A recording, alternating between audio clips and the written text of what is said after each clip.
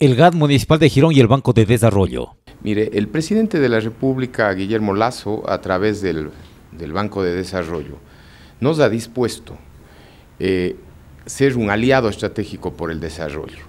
Naturalmente, las, eh, como, como cualquier banco, nosotros no manejamos líneas no reembolsables, sino manejamos líneas reembolsables, que evidentemente tienen que apalancarse en la capacidad de pago que tiene cada entidad. Cupo de endeudamiento del GAT Girón.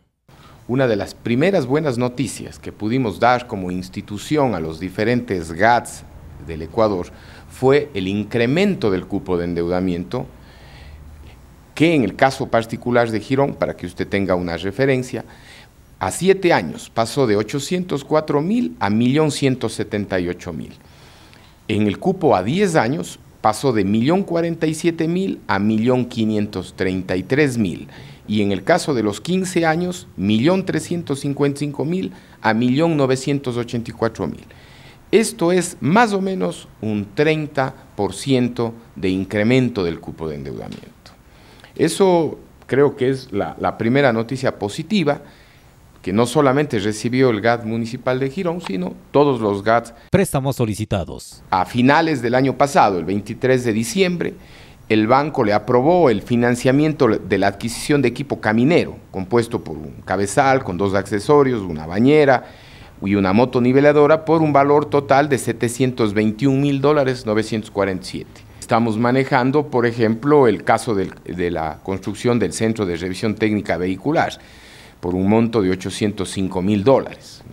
Evidentemente todavía no está entregado el proyecto, pero están el GAD en, en ajustes. Préstamo para la construcción del puente en la calle Sandes. El, el valor probable, potencial de ese, de ese proyecto entendería que podría estar siendo menor al cupo de endeudamiento, por lo que sería totalmente aplicable si es que el GA decide ese proyecto apalancarse en el banco. Claro, o sea, si usted considera 10 años que el cupo es 1.533.000, en teoría estamos con un valor de proyecto por debajo de la capacidad de endeudamiento del GA de Girón. Accesibilidad a los créditos. Este banco no solamente procede a hacer una evaluación financiera, en donde verificamos la capacidad de pago de los recursos del GAD, porque al final del día nosotros podemos ignorar rentas y cobramos automáticamente. El tema es que los proyectos contribuyan socialmente, ambientalmente, desde el punto de vista económico y no solamente financiero.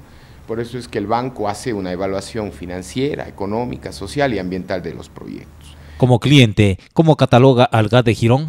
Todos los GAT son buenos clientes porque la pignoración de rentas es automática. Y, el banco ha trabajado muy bien con el señor alcalde de, de Girón